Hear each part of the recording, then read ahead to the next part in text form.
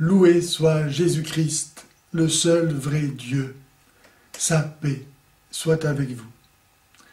Nous lisons dans la sourate 3 au verset 7 ceci. Nul autre que Allah ne connaît l'interprétation du Coran. Nul autre que Allah ne connaît l'interprétation du Coran. Première question.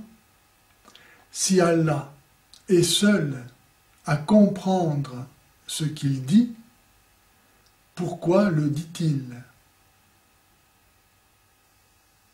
Deuxième question.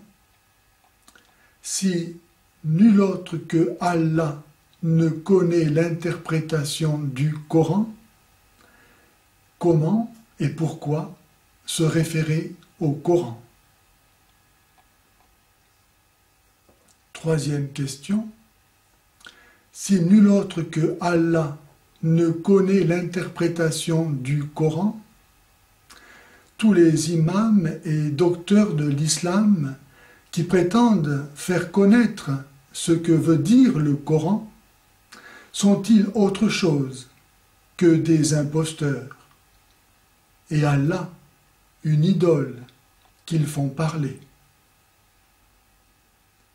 Nul autre que Allah ne connaît l'interprétation du Coran. Sourate 3, verset 7.